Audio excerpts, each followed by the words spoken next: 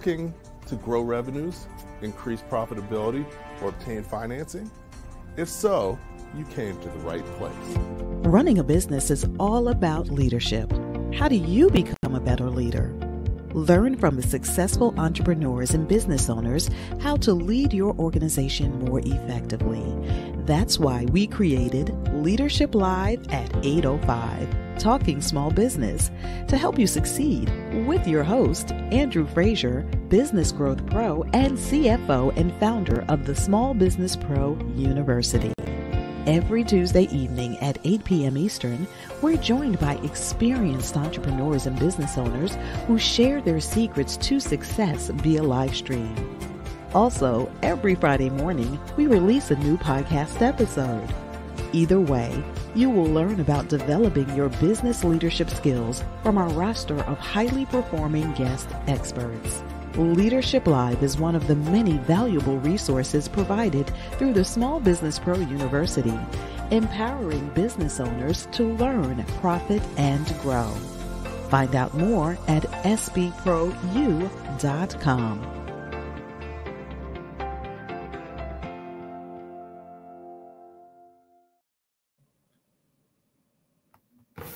Good evening. Welcome to, again to Leadership Live at 805. I'm your host, Andrew Frazier, and excited to be back on Tuesday evening. Um, you know, each Tuesday, if you're joining us for the first time, we have a great guest, and we really just talk about key topics and themes that it's important for entrepreneurs and small business owners to know about. So, um, we're in for a great evening. I'm excited about our topic. I'm excited about our guest, and um, you know, we're we're going to get started. Um, you know, definitely, you know, a lot of things are going on these days, and you know, the environment's a little bit uncertain. But we're going to be talking about some things that are going to help you, regardless of the economic environment, um, to be more successful in business. Um, my guest today is Byron Wolfe, and we're going to focus on profit and where the growth is because you know if you're not growing, you're dying, and um, business is all about making money. So definitely, we want to know where the profit is. So that's what Brian, Byron's going to tell us today. So hey, Byron, how you doing this evening? I'm great, man. Thanks for having me on the show here on a Tuesday night at 8:05. I love it. Let's go. Okay. Excellent. So no, I'm excited about um, really chatting with you this evening. Um, we we had we had a great talk previously, and you're, you're doing some great stuff. And um, you know, thought you had some great things to be able to share with the audience. So definitely um, looking forward to um, continuing our conversation. So definitely good evening to everyone. Everybody who's on, definitely feel free to comment, ask questions in the chat, and you know we'll just make this informal and fun. So. Um, Byron, you you know you're doing a lot of stuff. Um, you know, you're a CFO. You're doing different businesses. Um, why don't you take a minute, just talk a little bit about your journey and you know how you got to where you are now. Yeah, no, I love it. Thank you for uh, giving me the opportunity to do that. So my uh, my journey uh, started like a lot of people's didn't really know what I wanted to do, you know. So uh, you know, college was was an option for me. Uh, so went to uh, went to college, uh, tried to walk on to the the football team at University of Tennessee Knoxville. Found out that I was not as fast nor as big. Uh, nor as strong as I thought I was, and, and did make the team, but that was okay. watched some amazing Tennessee football for those years. Uh, but then, uh, you know, found out that uh, business was really where I wanted to be. Um, I make a really poor employee. Uh, I tend to focus on fixing things and trying to find new ways of, of, of doing things. Uh, and so, because of that, you know, I knew small business was kind of where I needed to land. Um, the the first small business that I ever had uh, came about kind of by accident, and it was much earlier than than college, so I didn't even know it was small business at the time. But I, uh, I started doing some lawn care. Uh, found out that was a lot of work, and that the other kids in my neighborhood that I that I was friends with would would love to mow the grass and get paid to do that. And so I would get them to mow uh, using their parents' uh, lawnmowers and weed eaters. So all the parents out there, sorry, uh, but I would use their uh, they would use their gas, their parents' equipment. They would mow. I would collect the money, then I would just hold five dollars back of the yard for myself.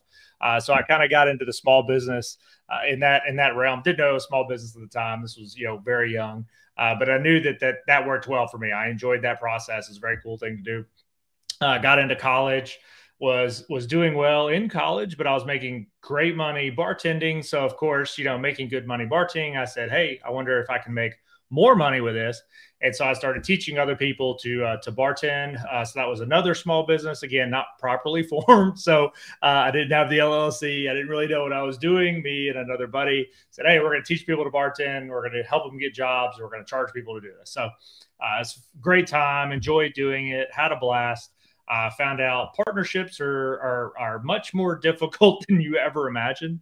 Uh, I ended up breaking that partnership uh, with that individual.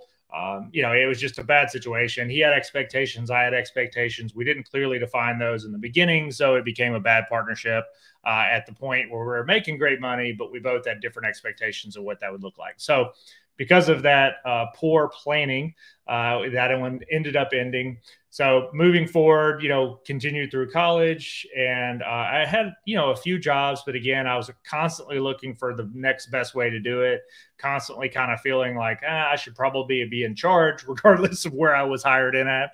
Uh, so started some small businesses, started some dealerships, started some other things. Found out I really loved being in small business. And so as that progressed, I found that the financial oversight and really understanding the numbers and like knowing what those are was really where like I shine. And so based off of that, we uh, started a dealership, did did pretty well with that. That was kind of an accident too. I can get into that. It's a big story. I'll tell that one later. But uh, found out that, that did well. We had an exit from that. That was was a great exit, but you know now in hindsight, being 2020, I know I should have definitely had a bigger multiplier.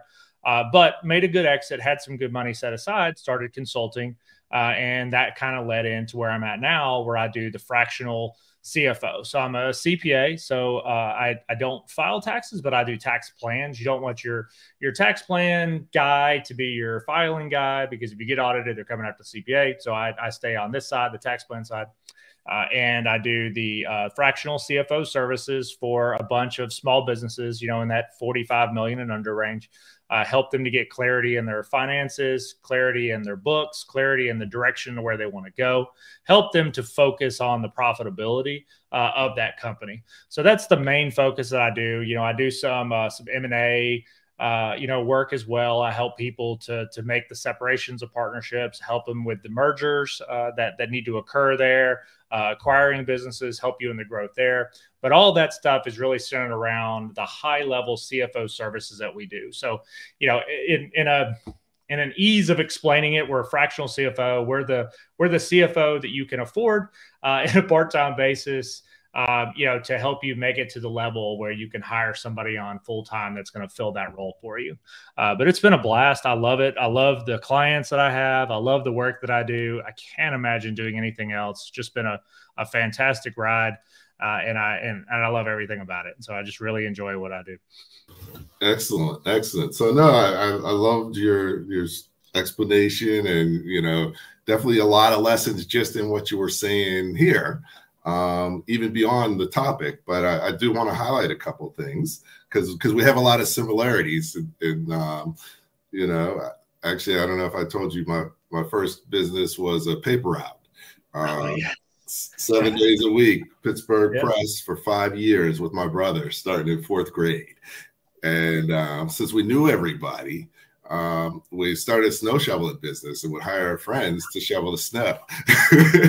yes, I love it. We, we, we, did all right. That you know that early entrepreneurial start is, is, always nice. I went away from it, but came back, and you know on the financial side. So, uh, but I think everybody who's done a partnership has run into issues with partnerships. Oh, so it was it was good that you mentioned that because I, I, I have uh, run into that the same. So, you know, a lot of people are like, you know, I'll get a partner, it'll be great. Um, many times, sometimes it is great, but many times it's not. But there's a lot of lessons learned. So, you want to talk a little bit more about the the lesson learned or what you would do differently? Um, Yeah, of course. Yeah. So I, I have found, and you're right, sometimes they do work out really well, sometimes not so great. Uh, I tell you the the I wouldn't say it's a thousand percent, but it I would I would uh, you know argue it's probably 90 95 percent of the partnerships that work out are because they take the time in the beginning to set the precedents to like set the expectation of where they're going to go, what they're going to do, what the separation of duties are. And so my, you know, and, I, will call it a failure. And I'm sure if you talk to the guy that I had the bartending school with, he'll tell you it was all my fault. I can tell you it's all his fault. The reality is we just had different expectations. And so, you know, he he was out building business. Um, you know, according to him, what I saw was him just going out and partying every night, trying to find new bars and places to pick up clients. Uh, so to me, that was like, well, you're just out having fun. I'm over here doing all the work. But to him, he feels like he was doing all the work, having to stay up late you know, and, and, interact with these people to build business. So I get that 100%. But we didn't set that expectation in the beginning. So the partnerships that I've seen that have done really, really well are the ones where people are friends or they're, you know, they get along well but they know on the front end that if they set the expectation, they build the lanes that they're going to stay in, and they know what their frame of reference is for the business, that they're going to find success in that. And so the I have partnerships now. I have some amazing, amazing partners and, multiple businesses. Uh, but every one of those has a very clear cut operating agreement uh, and a uh, kind of an understanding of where it needs to be to the point where I even have in my operating agreements, it says, hey, these are the expectations of, of what you're going to do. And then we have an addendum on myself as well that says if you can't perform these functions, that we will essentially sell your equity or take a piece of your ownership away to finance like performing in that arena. Uh, and the reason that we do that is because you have to have an answer for that. If you just say, hey, I really need you to do X, I'm going to do Y, everything's going to be amazing. Well, if they stop doing X, you know, you've got some written that says, hey, you're supposed to do X. Well, what's what, you know, what's the, where's the the stick right you got the carrot hey we make a bunch of money if you do it but you don't have any results if they don't so i like to have that in my operating agreements that says hey if you're not going to perform we're going to pay somebody to do it and you're paying for that. Like it's coming out of your equity. Uh, so I would highly suggest that having a good operating agreement in place, having that understanding, it's not going to solve all of your problems, but like when when the operating agreement, you know, doesn't have that last little bit, that's where the trust steps in.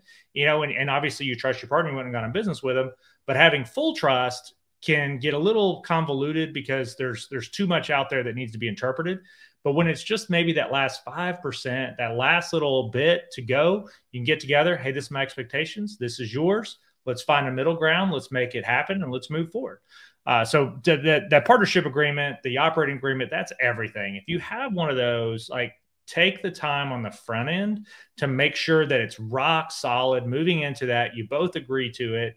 And I promise you that partnership is, is going to be so much better uh, and you're going to increase your chance of success. I, I mean, I, I, I, wouldn't be, uh, yeah, I wouldn't be shocked to find out it's a 20x chance of, of being successful versus not having one. Like, you know, I, and I don't have any basis of that. That's completely pulled out of the back of my head. Uh, but I mean, I, you know, that would, that would not shock me if that was the number. Uh, it just, it's so much more successful when you do that. Yeah, no, I, I would agree. Um, putting in the work up front, use attorneys. Yes. Um, get separate attorneys. you know, you, um, just um, it's better to take do it early on. So I, I would wholeheartedly agree because um, everybody has their own perspective, looks at things diff different ways, and you know it's important to you know have something written um, as an agreement because you know people only remember like 30% of what you tell them so if you guys are like, oh, cool, we'll do this, you know, you don't have the same understanding as they do, and you're already off to a, a difficult start. So no, that's great. I appreciate you sharing. I just figured we should take a sec for that because that a lot of people run into that or will may run into that, and hopefully this will give them some guidance and some make them think before they move too fast. So so that's cool. So before we go too far into it, um, you know, I do the show through the Small Business Pro University. So uh, for those of you who are new to it, I'm just going to play a one minute video. I'll be back with Byron right after that, and we'll be talking small business. Looking forward to it. Thank you. Do you own your business or does it own you? Is your business growing and are you making enough money? Oh. As a business owner, there are so many things you need to know to become more successful. Hello. My name is Andrew Frazier, the Business Growth Pro and CFO. I created the Small Business Pro University for you. Small Business Pro University has self paced, dynamic, multimedia learning experiences created by more than 20 instructors who are business owners just like you. Small Business Pro University will empower you to become a masterpreneur by learning the secrets to creating a successful enterprise to go from working in your business to working on your business. Take advantage of our strategic coaching program or just simply choose the courses that you need. At www.sbprou.com, we will empower you to thrive and not just survive and make more money in any business environment. Okay, evening back here with Byron talking small business and really focus on growth. You know, definitely, um, you know, if you're not growing you know you're dying in business. Unfortunately most small businesses have low or no growth. So um, important topic. Um, so when you're working with people um, and when you're thinking about uh, how to help people grow what would you say are some of the key things that are hindering people from growing Oh, that's a great question. So I think that we tend to focus too broad. You know, we think like there's so many factors, there's so many things that I need to look at, and I need to manage all of these if I'm going to be successful. Uh, and I think that that that's probably not accurate. I don't want to say it's not accurate. There's you know some business can be very complicated, but all businesses essentially break down into what I call the three main components. And so I think that uh, it's it's revenue at the top, right? So this is going to be your sales, this is your marketing, getting the getting the people in the door, getting the dollars in the door, right? So revenue is huge. Then there's profit, you know, so that's your bottom line. Like if your revenue is good, you got to manage everything that comes after that. Those all your expenses, fixed, variable, you know, the, the things that affect the sale, the things you have to have, your fixed overhead, like your rent, you know, keeping the lights on, things of that nature. So those are the things you need to manage to make sure your profitability is really good. And then there's cash flow. And so the thing that I know more often than not, that's the thing that people forget about, or they don't manage, or they don't understand, or they overlook. Uh, cash flow is is everything. Cash flow is king if you don't have good cash flow, you can't operate that business. I don't care how much money you got coming in the door. If you can't afford to cover payroll, those doors aren't going to stay open. So cash flow is everything. You have to watch cash flow. So revenue crazy important. I agree. You got to have money coming in the door. If you're not making a profit, what are you doing? So I think profit's very very important. I you know, I would say profit over revenue because I would much rather take a bunch of money home than make a bunch of money that goes out to other people and I don't have anything left at the end of the day. But cash flow is the lifeblood of your business. If your cash flow isn't under control, if you don't have a management over your cash flow, you're not going to be able to operate. You're not going to be able to make decisions for your company that are best for the company. So here's a great example. I've, I've dealt with this multiple times. So if you're a small business and you hear this and you're like, oh man, that's me. No, I'm picking on a ton of people. This isn't just you. But I've had multiple clients that I've spoken with, and they say, you know, cash flow. Yeah, I just, whatever's in the bank, I know that that's what I can spend. I get that. You know, I mean, I've, you know, I've been there. I've looked at the bank and been like, oh man, like what can we afford this week? You know, like, oh man, marketing. I don't know. We don't really have cash for that. So, you know, managing that cash flow means managing what's coming in, what's going out. Like it can't just be looking at your bank account and saying, oh, we got money today. Like, looks like we're going to cover payroll. Oh man, we got money today. Maybe we should invest in this or invest in that. So if you if you have good cash flow, instead of making decisions based off the available cash that you have in the system at that exact moment, or saying, ah, man, I hope we have enough money for payroll. You're managing that in the way that you can invest in things that make sense for the business. So if you have two options and both of those options are going to cost the same amount of money, you want to have the one that has the highest return. That's an easy answer. That's an easy decision. If you have two things that cost different amounts of money, but one of them has a much higher rate of return. So, meaning the return that you have, that percentage is significantly higher on this one than it is on this other one. But this one's maybe a lot more expensive and like your cash flow is not under control. And even though maybe your ROI is 30, 40% on this one, you're like, man, that's amazing. I can't, I can't afford this because I don't have the cash flow for it. So I'm going to take this one over here that's a 10%, and then that's going to help me to get to the point where maybe I can make this decision later on. I don't want you to be in that spot. I want you to make sure that you're taken care of so that this big one, the big expense one that has the big ROI, I want that to be an option for your business. I want you to be able to make that decision and say, I want the big return. I want to make the most money for my business. I don't want to be handcuffed to the cash that's in my bank account. So managing your cash flow, that's building your business credit. That's managing the the loans, the the credit lines that you have out there. That's managing your receivables. If you have a great great customer or you think it's a great great customer, but that customer consistently takes 90, 120, 150 days to pay you and all the rest of your clients are paying you within 30 days, that customer might not be so great because it's costing you a lot of money for them to slow pay you like that. And so the customer that you're able to turn that over, maybe you've got two or three customers that are paying you within two or three weeks, but maybe the rate of return isn't as good as the guy that's waiting six months to pay you. But if you got to wait six months for that, how many decisions did you miss out on because you didn't have that money in your business? You have to pay attention to these things. So this is this is cash flow management. It's not just how much money I got in my bank bank account. It's managing the cash that you have, managing the cash that's coming into your business, and managing the cash that's going out. And so, again, check your credit, check your loans. Don't wait until you need a loan to get a loan. Get that get that business credit built up. Get that line of credit in place so that when you need it, you have it. Banks don't want to loan you money when you need it. They want to loan it to you when you don't need it. So I know that doesn't make any sense whatsoever, but that's the reality of the banking world. Like, and I know Andrew knows that. Like, this is part of of managing that that cash managing the the finances that you have. And so pay attention to your revenue. That's the money that's coming in. You got to have revenue to build profit. But if you're only focused on building your revenue and you're ignoring your profit you can be growing something that you're losing money. And every time you 2x 3x 4x that revenue if you're losing money you're also 2x 3x 4xing that loss so that's that much more money you're losing out on so we need to pay attention to these Okay. No, I mean definitely great. Um, you know, I think you you covered some really important stuff.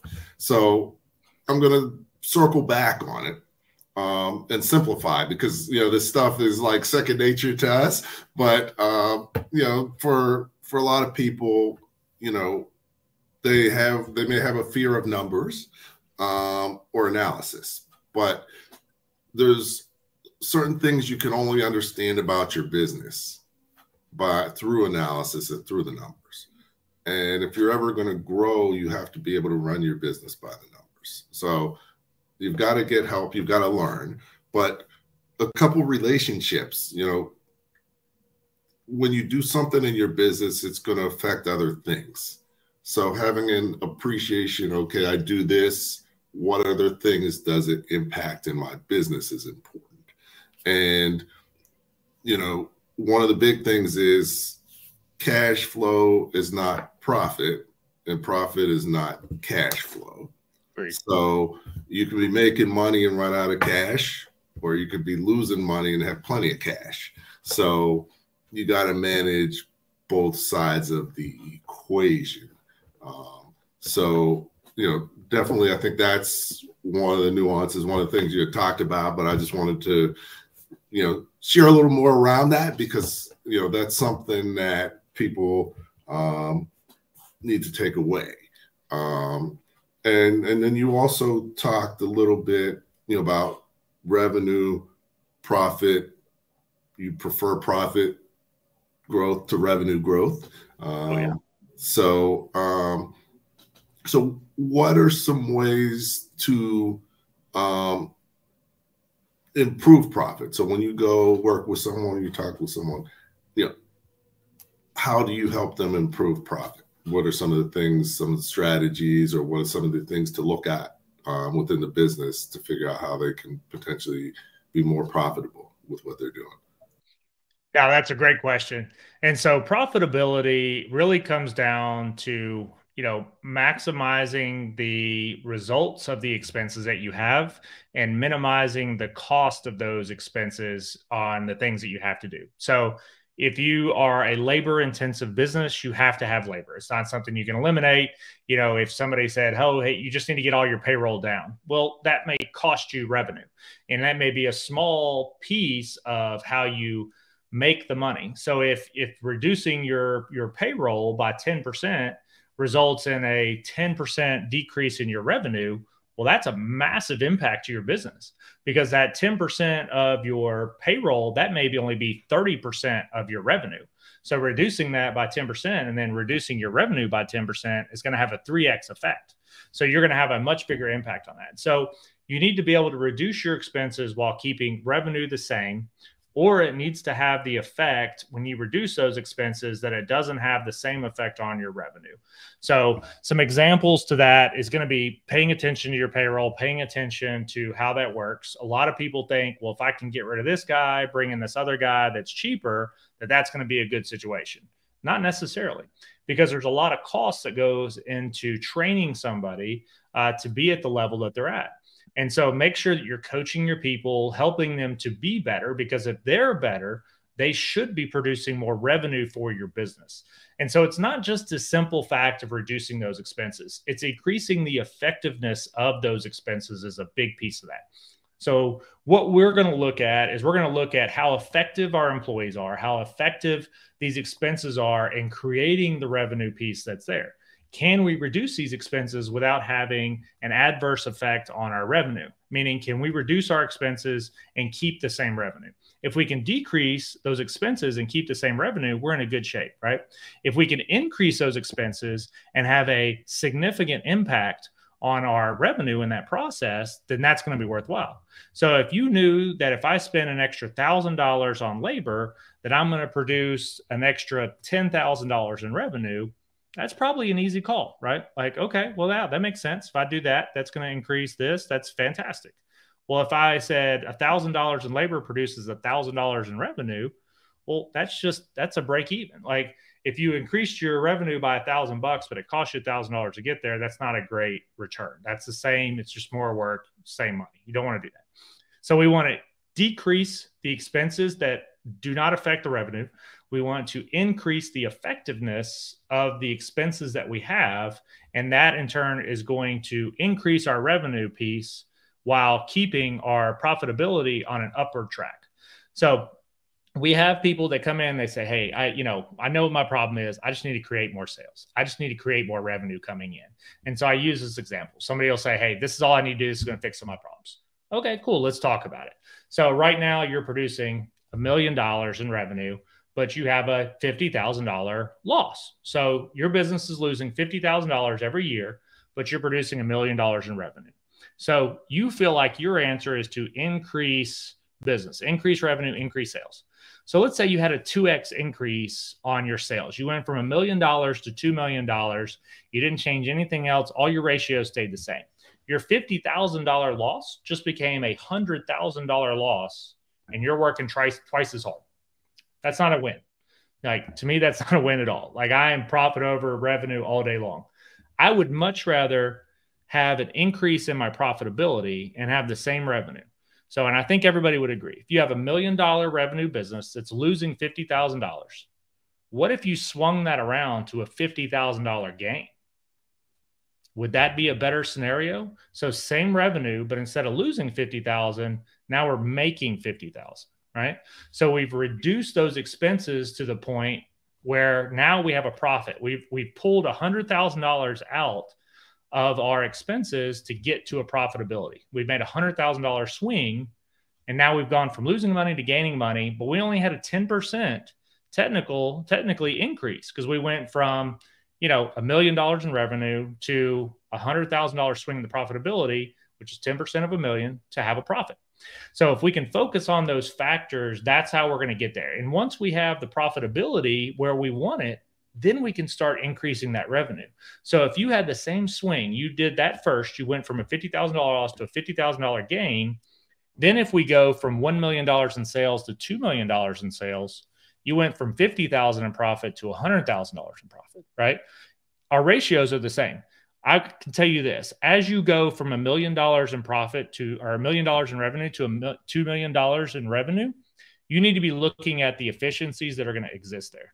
And so if you can find additional areas of improvement, then you can continue to increase that profitability. That profitability range, that ratio is going to go up in your business.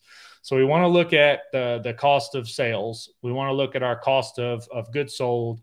Oh, you know, whatever you whatever your business is, those direct costs. Some of that sometimes that's labor, sometimes that's the widget that you're selling, uh, sometimes it's the services, sometimes it's referral fees, whatever your business is, you got to look at what the cost of that is. We need to make sure that we're making that the most effective use that we can, reducing it where we can reduce it without affecting the revenue. We need to look at our payroll to make sure that we're not payroll heavy.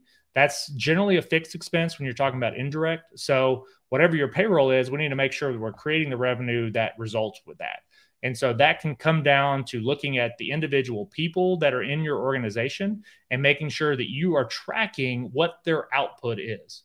And so I get a lot of kickback on this. They say, well, that that person doesn't do anything that creates revenue. So I can't track that. Well, that's just not true.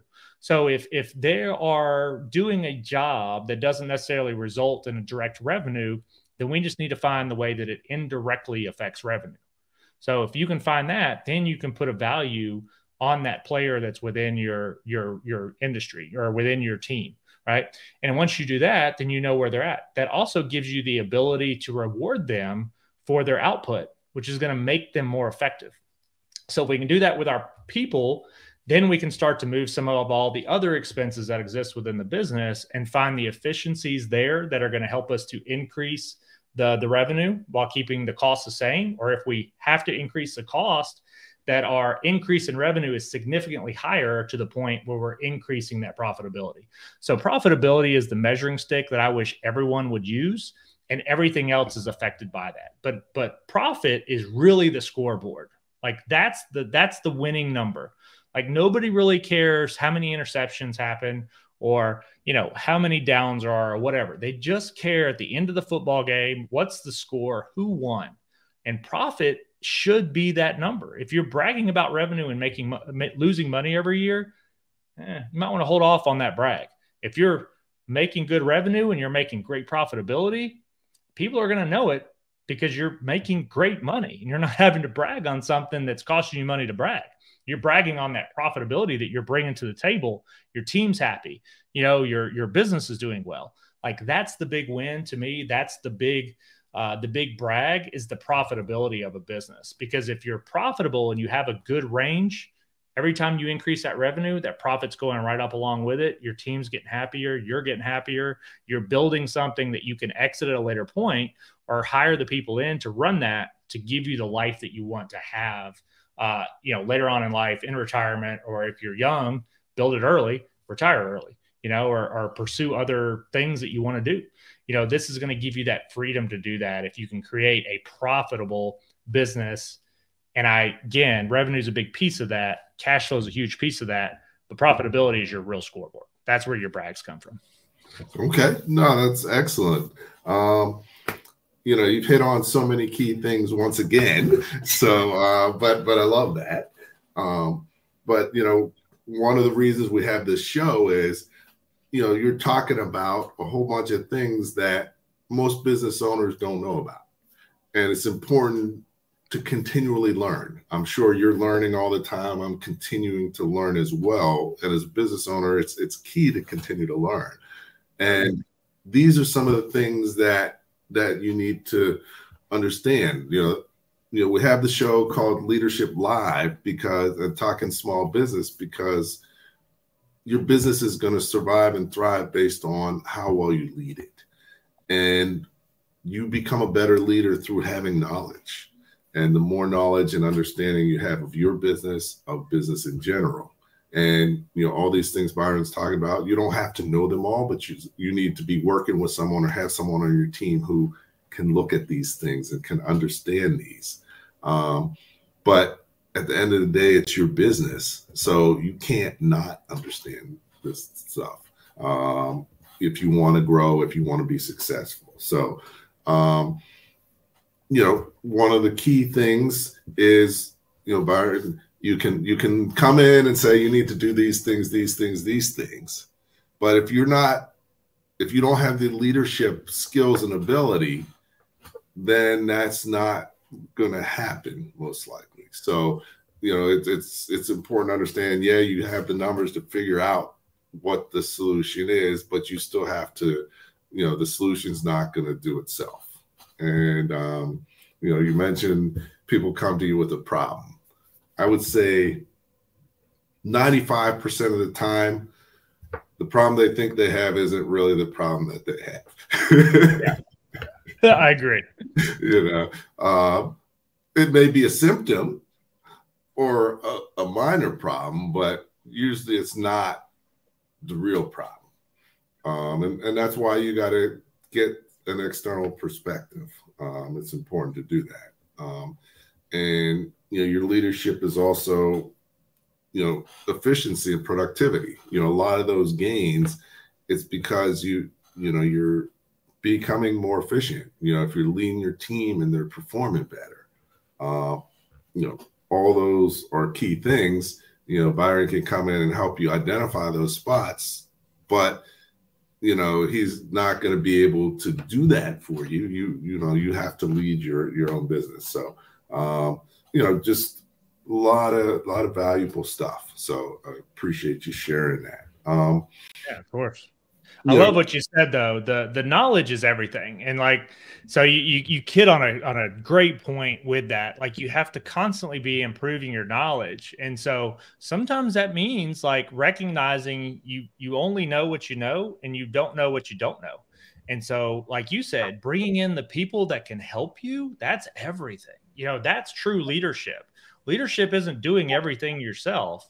It's knowing your limitations and then leading others to do those things that you're limited in. So yeah, no, I love that. That's a great point, Andrew. Okay, no, appreciate it. So yeah, no, this definitely um, is key.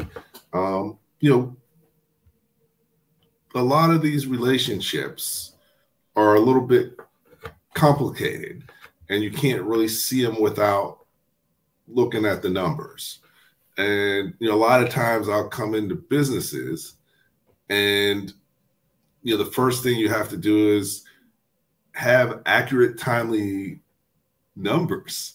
Um, so you know is that something you find? And and how do you help people get on the right track having the information they need to make good decisions yeah so you you would be surprised so we come in we look at those numbers we try to find uh, you know, some inaccuracies. We, you know, we can generally find some things that maybe don't necessarily look right, right? And so we can we can help to focus in those areas and and find the missing pieces that exist there. That's a big part of this.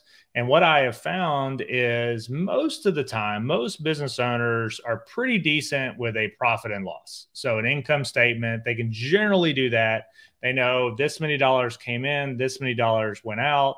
This is what you know we've we've got at the end of the day. So that that piece is generally pretty decently accurate.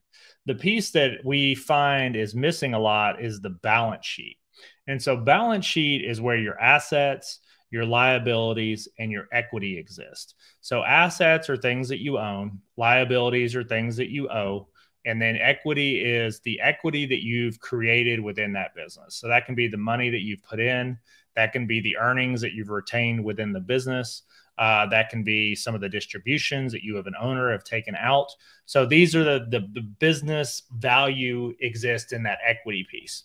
So if you have a good income statement or, or a good profit and loss P and L, but your balance sheet is all kinds of wonky, then you don't really have an accurate picture. You need to know what you have. You need to know who owes you. You need to know what you owe. You need to know how much equity you've built into that business. And so that's the piece that a lot of times we come in and we say, hey, your balance sheet's a hot mess. So there's going to be things probably on the P&L that should be on the balance sheet. There's things that are on the balance sheet that should probably be on the P&L. And generally what we found is when people have the major cash flow issues, it's because their balance sheet is completely inaccurate.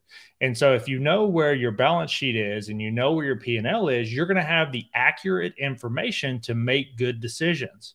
If I give you wildly inaccurate information and tell you to make a decision, what do you think the chances are of making a good, sensible decision are? Pretty low, right?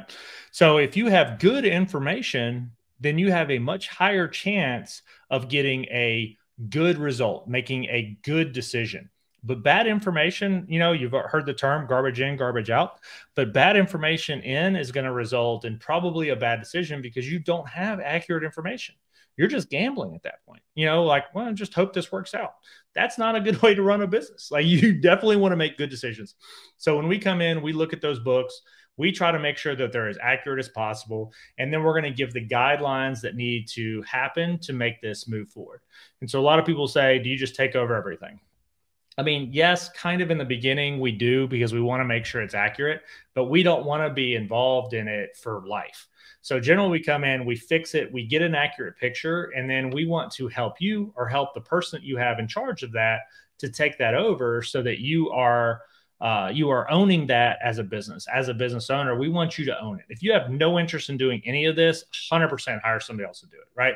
But if you if you like it or you understand it enough and you realize the importance of it, then like take ownership in that you know but but have the guide that's going to help you to understand that. And that's where a fractional cfo really can step in and help you to make those high level decisions. Getting the books right that's a bookkeeping accounting type spot. It's very difficult but it's very different from what a cfo is going to do but it's still wildly important. So don't like downgrade a, a, bookkeeper or downgrade an accountant or whatever. Like they have a huge impact on your business. They're just as important as anything else. So making sure that that stuff's accurate, making sure that you have good numbers are going to allow you to make the forecast that you need to start setting those targets. The budgets are how you're going to get there. The forecast are where you want to be. So if you have the forecast, you say, hey, in five years, I want to be a $100 million business, right? So based off of that, we can use that as a vision board. So if I want to be at $100 million, I need to grow at this level to get to that five years, 10 years, whatever it is. So once you set that, then we can set the parameters to get there from where you are today. So if that's where you want to be, then we need to set those parameters. So if you want to be there in five years, then at year four, you need to be here. Year three, you need to be here. Year two, you need to be here. Year one, you need to be here.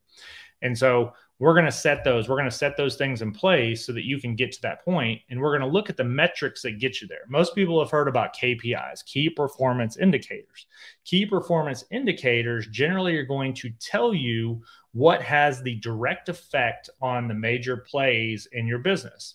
So a kpi may be cost of labor if if you have figured out that your cost of labor has a direct correlation to the revenue piece or a direct correlation to the profitability piece then you know the lever to move to make a revenue jump or a profit jump. And you know if i do this then it's going to come down. If i do this it's going to go up. And what's our relation to that? So you need to have those in place so that you know the decisions that you're making are good decisions.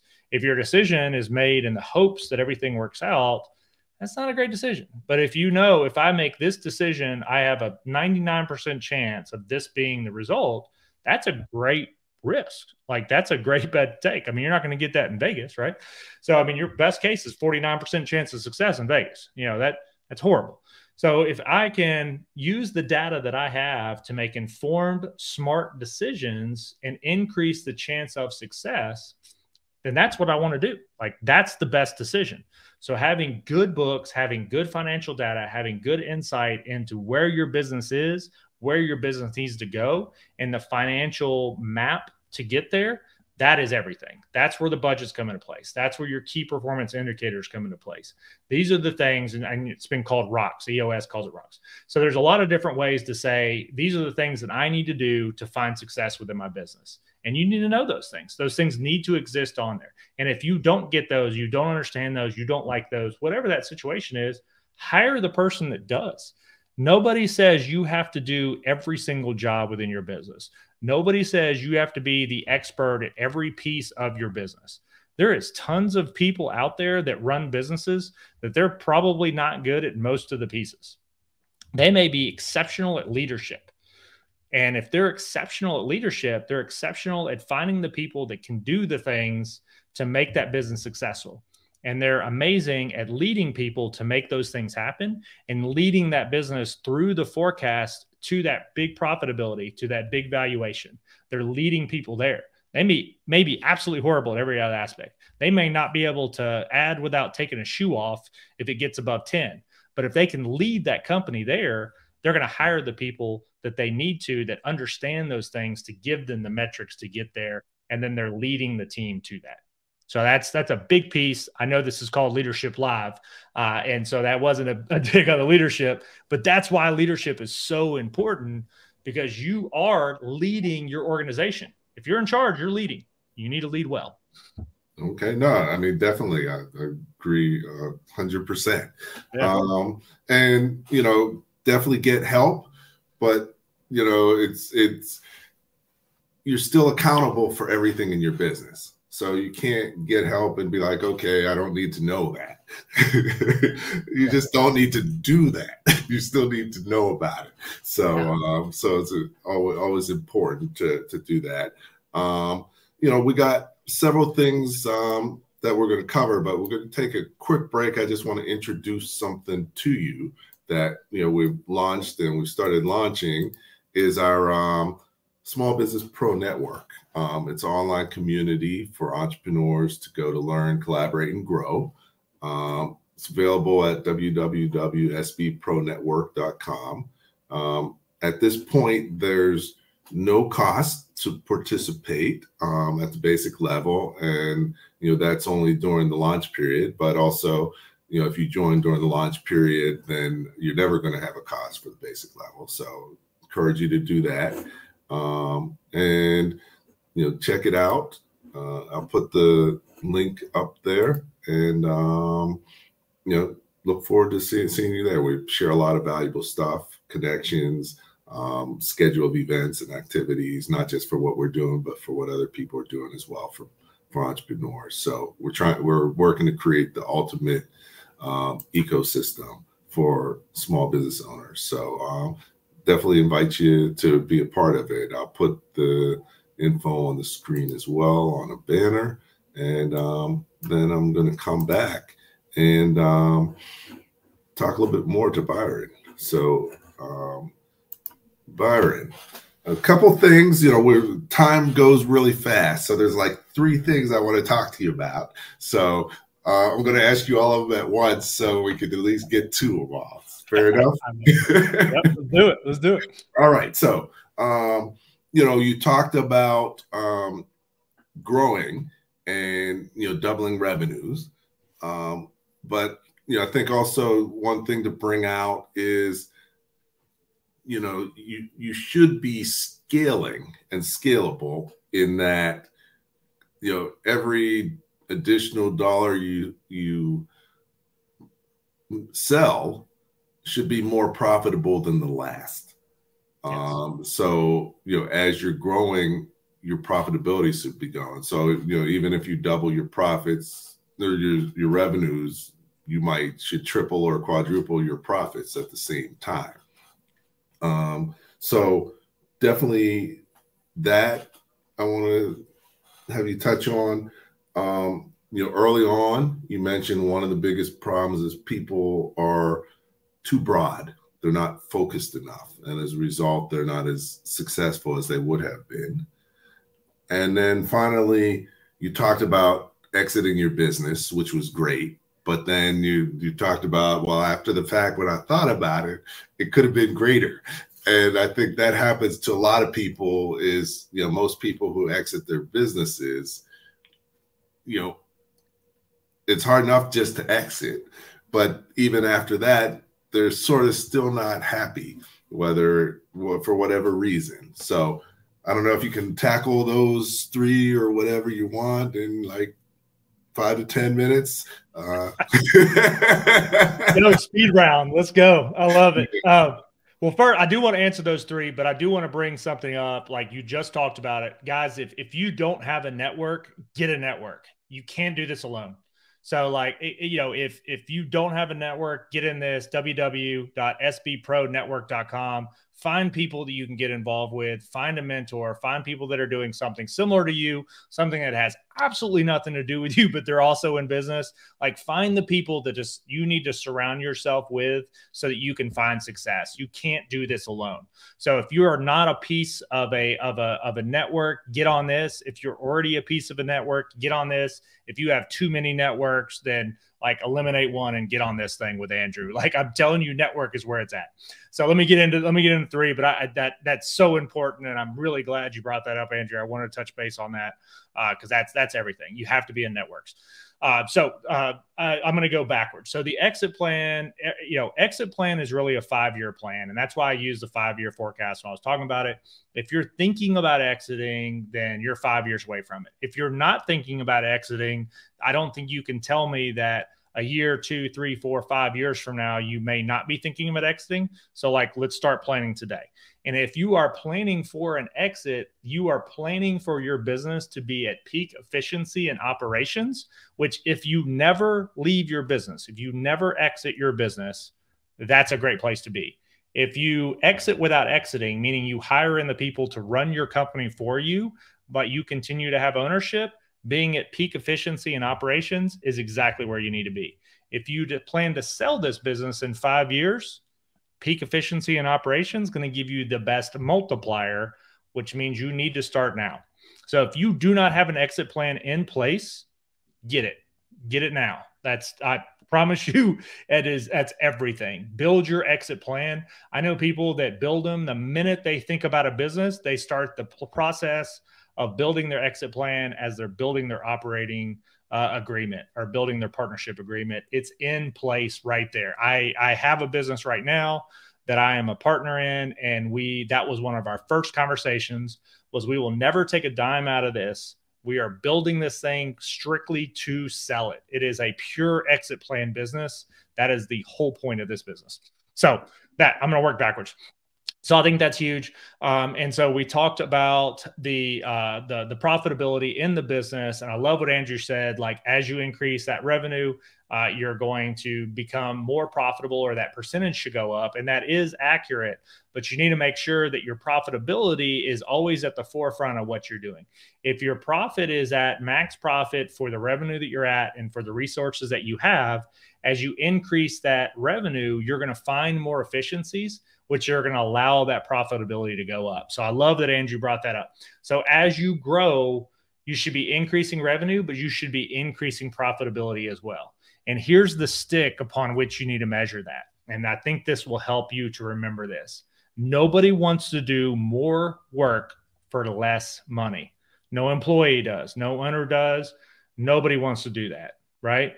And so if you're increasing revenue and keeping profit the same, that's not a good thing. Your profitability percentage is going down. You don't want to do that. So don't do more work for less money. That doesn't make any sense. So I love what Andrew said. Like as you increase, you're going to find those efficiencies. You're going to become more profitable. I think that that is everything. That's crazy important. We need to do that. Uh, and then when we're talking about being too broad, focus on the big impact pieces in your business. So if if there's a bunch of problems deal with the major one first, get that in place, find the solution to that problem, and then work your way down to the small ones. You can't fix everything at once. So fix the big problem and then move to the next problem, and then move to the next problem, move to the next problem. You're not going to be able to fix everything at once. You can't do one thing that fixes everything. You're going to have to fix these things, you know, a little bit at a time. And so find the big problem, fix that, the BAP, the big ass problem, find that one, fix that one first, and then move on to the next. And so you should have a scoreboard that you're looking at that points out where you want to be. If you have the five year forecast, you have your plan in place, then you know the metrics to get there. And if you're wildly off from a metric, that should be a big red stoplight for you. We actually do this with our customers. We have a scoreboard that has three colors on it. It's got revenue, pieces of revenue, profit, pieces of the profit, cash flow, pieces of the cash flow. Each one of those is a box that is green, yellow, or red. If it's red, it's way outside of the metric. We got to get that taken care of ASAP. We go directly to an action plan. So you need to find out what the issue is, where you need to be, what you need to do to get there, who's responsible for making it happen, and the due date upon which they're going to have it fixed. That's your action plan. Take care of the reds, then deal with the yellows. And then if you get rid of all of those and your scoreboard is bright green, now we're just focused on building that revenue and building that company and increasing that profitability.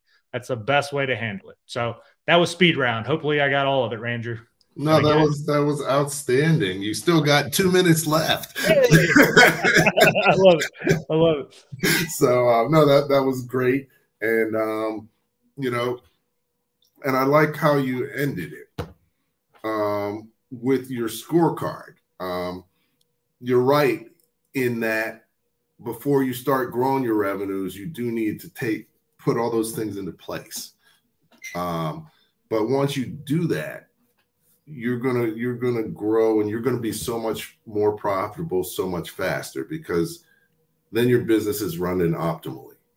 Um, a lot of businesses go of business when they grow because they're not run optimally. So as a result, you know they can't keep up.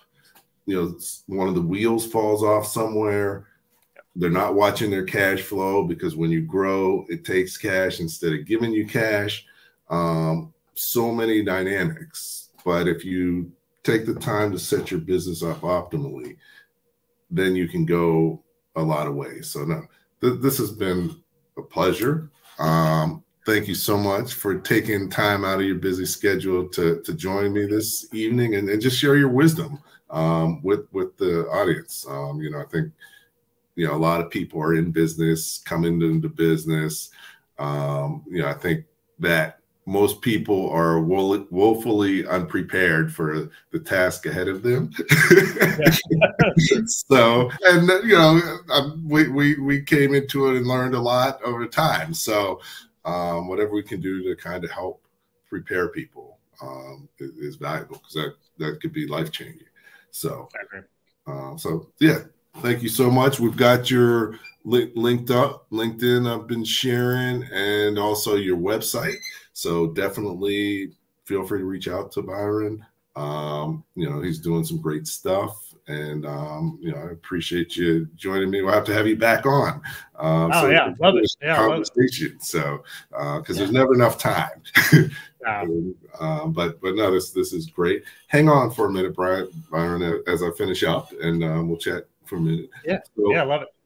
Okay, so great. Now, this is another great episode of Leadership Live at 805 Talking Small Business. Thank you for joining in. Appreciate everybody's comments. You know, if you're tuning in later, um, definitely check us out.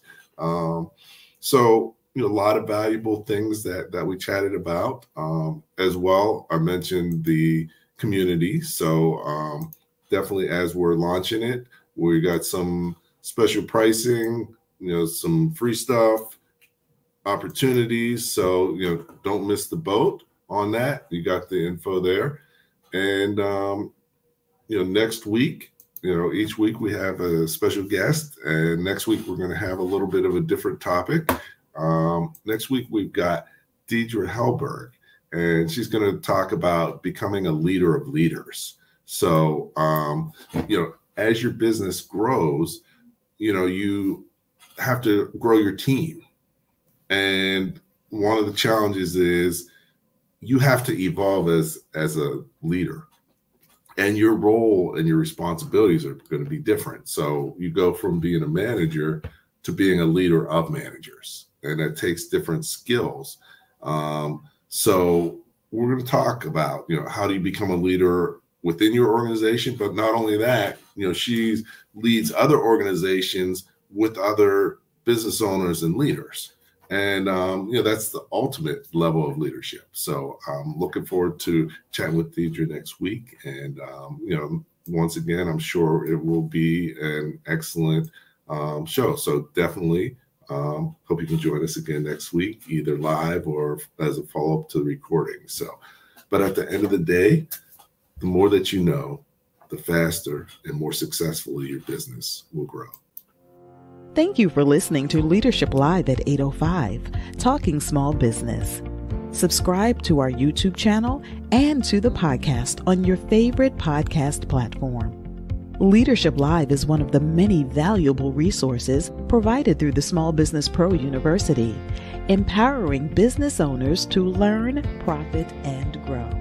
Find out more at sbpro.u.com.